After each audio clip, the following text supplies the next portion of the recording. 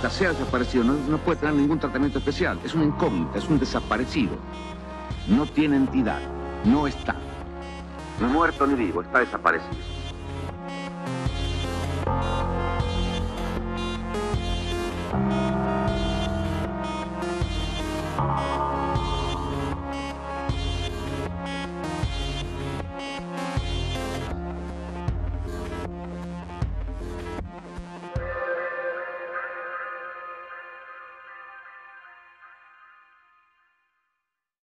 Fragmento del alegato de Bartolomeo Vanzetti al jurado.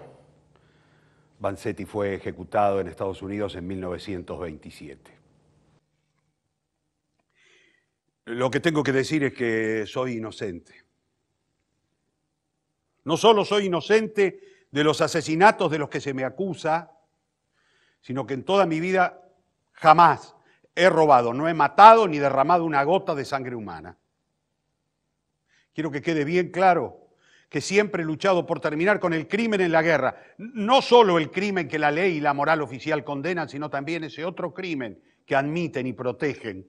La explotación del hombre por el hombre y el atropello contra la dignidad humana. Y si hay alguna razón por la que aquí se me juzga, si hay una razón para la que van a condenarme, es por esa, por ninguna otra.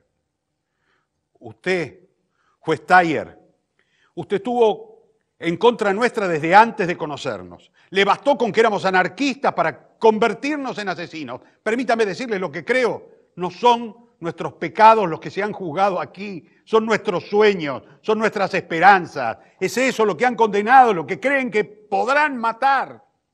Y quieren hacerlo tan solo porque esos sueños nuestros les amenazan la realidad.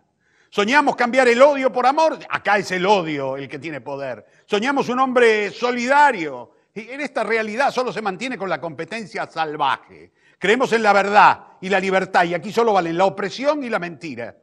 Descubrimos que los derechos, los privilegios, aquí se adquieren y se mantienen solo por la fuerza.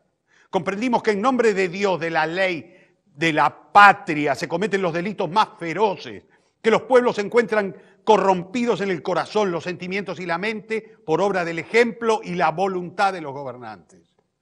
Pero también entendimos que la igualdad es la única base moral sobre la que puede regir el contrato social humano. Y que si nosotros y la generación que nuestras mujeres llevan en sus vientres no somos capaces de modificarlo, bueno, pues habremos fracasado todos. Y la humanidad seguirá siendo cada vez más mísera y más infeliz. Quiero decirle una cosa, señores del jurado, créanme, lo digo con todo el corazón, estaría feliz si, me, me condenaran a muerte solo por poder gritarle a la gente, pónganse en guardia. Todo lo que te dijeron, todo lo que te prometieron era una mentira, era un fraude, era un delito, una ilusión, era un engaño. Nos prometieron libertad ¿Dónde está la libertad? Nos prometieron prosperidad. ¿Cuál prosperidad? ¿Dónde está el progreso espiritual que nos prometieron? ¿Dónde está el respeto por la vida humana? Pero si nunca como ahora, señores del jurado, ha habido tanto crimen, tanta corrupción. Esto es lo que quiero decir. Yo no le desearía ni a un perro sarnoso, una serpiente, a la criatura más miserable de la tierra lo que yo he tenido que sufrir por delitos que no cometí. Pero hay algo que me consuela y es que también he sufrido por crímenes de los que sí soy culpable. He sufrido y sufro por ser italiano, es cierto, lo soy. Estoy sufriendo por ser anarquista, también lo soy.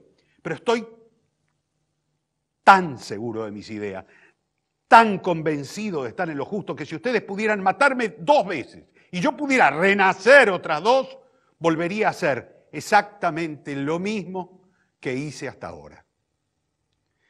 Hablé mucho de mí y ni siquiera mencioné a Saco, Nicolás Saco, mi amigo, mi compañero.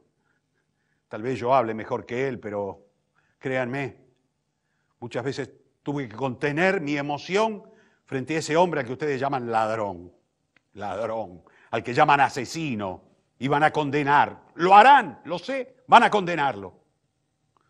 Pero escúchenme bien lo que voy a decirles. Ustedes podrán hacer con él lo que su crueldad les permita.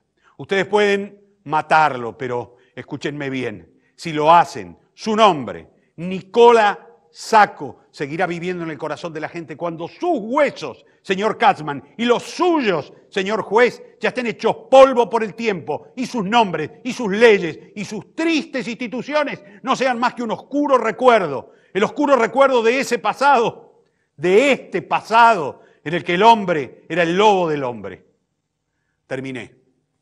Gracias por escucharme.